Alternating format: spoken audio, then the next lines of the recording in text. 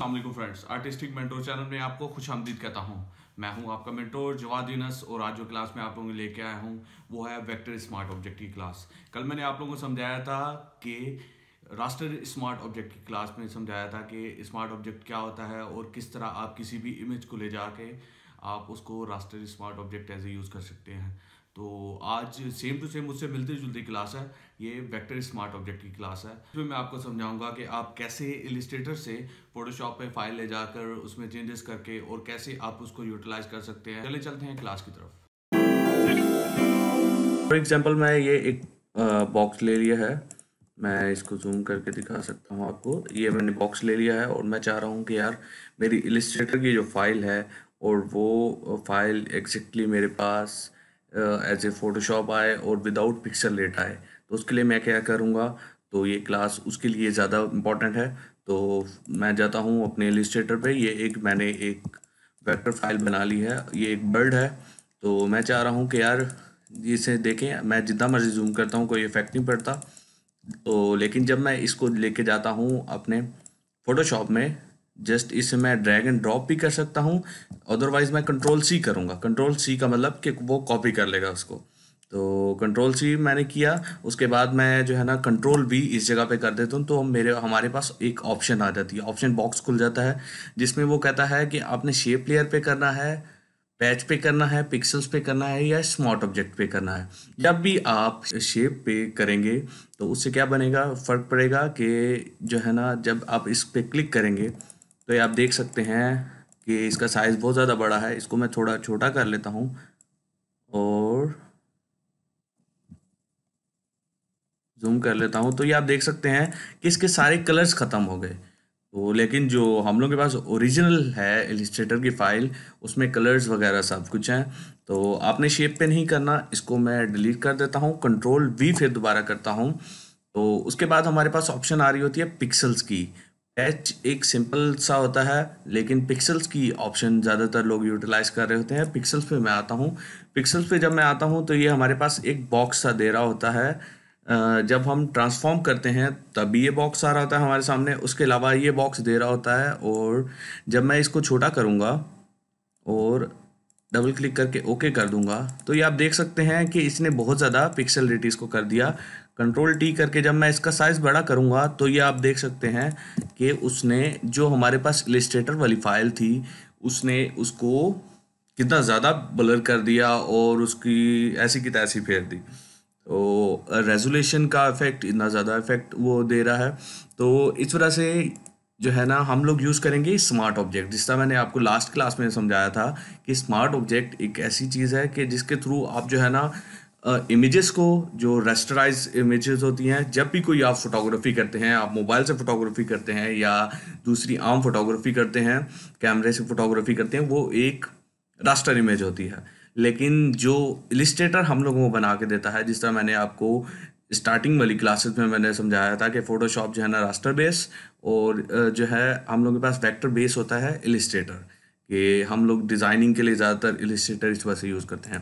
तो ये हमारे सामने आ गई है इमेज तो मैं चाह रहा हूँ कि यार विदाउट पिक्सल ये चीज़ हमारे सामने एज इट इज़ आए कंट्रोल सी मैं इसको करता हूँ, फिर कंट्रोल वी करूँगा। हमारे पास ये ऑप्शन आ रही होगी smart object smart object just आपने क्लिक करना है कंट्रोल वी करके मैंने इस पर पेस्ट किया तो ये हमारे सामने ऑप्शन आ रही है। जब मैं इसको छोटा करूँगा तो ये आप देख सकते हैं कि इसने कंट्रोल टी करके मैं इसको बड़ा करूँगा साइज़ को। तो ये आप देख सकते हैं कि इसने काफ़ी हद तक उसको स्मार्ट ऑब्जेक्ट को बड़ा भी करो, आप छोटा भी करो, बिल्कुल बलर नहीं हो रहा। तो जब भी आपने यूज़ करना है, आपने कोई भी वेक्टर फ़ाइल को ले जाके फोटोशॉप में एडिटिंग करना है, या आप कोई इफेक्ट्स देना चाह रहे हैं, या कोई आप पोस्टर बना रहे हैं तो ये चीज़ आपने याद रखनी है कि आपने उसको एज ए स्मार्ट ऑब्जेक्ट लेके आना है। ये एज ए वेक्टर है इलिस्ट्रेटर में। तो अगर आप फॉर एग्जांपल कि अगर आपको माइंड में आया कि यार वो फ़ाइल भी मैंने बंद कर दिया फॉर एग्जांपल मैं मैंने ये फ़ाइल बंद कर दिया तो आपके माइंड में आया कि आपने जो है इसमें चेंजेस करने हैं, इसके कलर के चेंजेस करने हैं, आपने इस जगह वाले कलर के चेंजेस करने हैं तो आप क्या, किस तरह करोगे? तो अदरवाइज़ फोटोशॉप पे भी हो सकता है, लेकिन आप, अगर आप इस पर कुछ एडिटिंग करना चाहोगे, वो आप नहीं कर सकोगे क्योंकि ये एज ए स्मार्ट ऑब्जेक्ट है, जैसे कि मैंने आपको समझाया था स्मार्ट ऑब्जेक्ट पे क्लिक करके फिर होता है।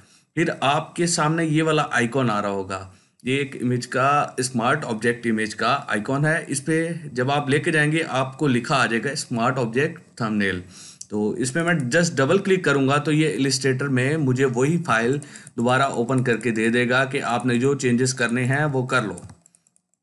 तो अक्सर अवकात डायलॉग बॉक्स भी ओपन ओपन हो रहा है, फिर जस्ट आपने उसने डायलॉग बॉक्स को अपने ओके कर देना है तो वो इलिस्ट्रेटर पे आपके पास खुल जाएगा। ये चीज़ आपने याद रखनी है, मैं दोबारा रिपीट कर रहा हूँ कि आपने जस्ट इस पर डबल क्लिक करना है, ये जो आइकॉन आपका आ रहा है तो ये आपकी इलिस्ट्रेटर में ओपन हो जाएगा। तो ये चीज़ हमारे पास थी, मैं इसको चाह रहा था कि यार मैं इसको कोई और कलर कर दूँ। फॉर एग्ज़ाम्पल मैं इसको पिंक कलर करना चाह रहा था। इसकी जो विंग्स की ये वाली जो है शेप इस पर भी मैं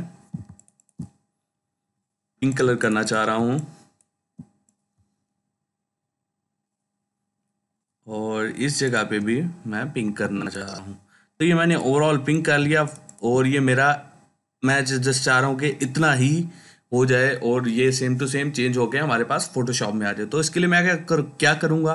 कंट्रोल एस का बटन दबाऊँगा और इसको मैं कंट्रोल डब्ल्यू कर दूँगा। तो फिर मैं दोबारा अपने फोटोशॉप पे आऊँगा। तो ये आप देख सकते हैं, ये हमारे पास इसने कलर चेंज करके दे दिया। तो कोई मुश्किल वाली बात नहीं है। सिंपल सी टेक्निक्स हैं कि आपने इलिस्ट्रेटर से फ़ोटोशॉप पे फ़ाइल कैसे लेके जाते हैं। जो कि न्यू डिज़ाइनर्स हैं, जितने भी न्यू डिज़ाइनर्स हैं, उनको नहीं पता कि जो है, जो बड़े डिज़ाइनर्स हैं, वो एडिटिंग करने के लिए या कुछ शशका डालने के लिए हम फोटोशॉप पे लेके आते हैं फ़ाइल को। लेकिन मोस्टली काम हम लोग इलिस्ट्रेटर पर ही करते हैं, लेकिन जो कोई शशका डालने के लिए हम लोग लेके आते हैं और हमारी चीज़ दोबारा से वेक्टराइज फॉर्म में जाए उधर तो उसके लिए हम लोग जो है ये चीज़, ये टेक्निक इस्तेमाल करते हैं कि हम वेक्टर से वेक्टर स्मार्ट ऑब्जेक्ट को इस्तेमाल करते हैं। तो ये चीज़ हमारे सामने आ गई है। तो ये सिंपल सी टेक्निक थी कि आपने जस्ट स्मार्ट ऑब्जेक्ट पे क्लिक करना है। ये चीज़ आपने याद रखनी है। जब भी कोई आप इलिस्ट्रेटर से फ़ाइल लेके आते हैं वेक्टर फ़ाइल और आप फोटोशॉप पे लेके आते हैं और उसकी पिक्सल रेट नहीं होना देना चाहते तो आपने हमेशा स्मार्ट ऑब्जेक्ट यूज़ करना है। तो मुझे उम्मीद है ये क्लास आपको पसंद आई होगी। उसके अलावा हमारे चैनल पे ही आप देख सकते हैं, मैंने डिफरेंट प्लेलिस्ट अपनी अपलोड की हुई हैं। आप इधर से सीख सकते हैं, मैं इलिस्ट्रेटर की ये twenty six classes full Adobe Illustrator की क्लासेस अपलोड कर दी हैं। और उसके अलावा ये एडॉप फोटोशॉप की ट्वेंटी सिक्स क्लास जो है, मैंने अपलोड कर दी हैं इंट्रोडक्शन को मिला के। और ये जो हमारी क्लास थी, ये ट्वेंटी नंबर हो जाएगी क्लास तो लास्ट क्लास जो मैंने मेरी थी सेम टू सेम इससे रिलेटेड थी। अगर थोड़ी बहुत भी कन्फ्यूज़न स्मार्ट ऑब्जेक्ट में या किसी चीज़ में है तो आप उधर से जाके सीख सकते हैं। उसके अलावा ये फ़ोटोशॉप जो न्यू वर्जन आया है 2019 का उसके लिहाज से मैंने ये अलग से प्ले लिस्ट बनाई है। तो आ, मेरी इन प्ले लिस्ट से आपको बहुत कुछ सीखने को मिलेगा। तो आप आपने जस्ट क्या करना है आप जब भी मेरे चैनल पे आते हैं तो आपने ये देखेंगे, ये चीज़ बनी हुई आ योगी ओवरऑल आपने जस्ट जो है ना मेरी प्लेलिस्ट पे जाना है और जो है ना मेरी प्लेलिस्ट में जो भी प्लेलिस्ट ओपन करनी है जस्ट आप उस पर क्लिक करेंगे तो आपको सीक्वेंस वाइज क्लासेस मेरी नज़र आने शुरू हो जाएँगी। उसके अलावा अगर कोई भी कन्फ्यूज़न या कोई भी क्वेश्चन हैं, आप मेरे ग्रुप में, ये मेरा ग्रुप है आर्टिस्टिक मेंटोर के नाम से। मैं डिस्क्रिप्शन पे भी इसका लिंक दे रहा हूँ। आप इस जाएँ ज्वाइन करें। कोई भी क्वेश्चन है, आप डायरेक्टली भी मुझसे कह सकते हैं और मैं आपको हेल्प आउट करूँगा। तो मुझे उम्मीद है ये क्लास आपको पसंद आई होगी। अगर आपको क्लास पसंद आई है तो कमेंट और लाइक करना ना भूलिएगा, क्योंकि इसी से अप्रिसिएशन होती है और मेरा और दिल करता है कि मैं और ज़्यादा आपके लिए ये सब कुछ वेरिएशंस लाता रहूँ। तो मिलते हैं नेक्स्ट ट्यूटोरियल के साथ। जवादी इसको इजाज़त दीजिए। अल्लाह हाफिज़।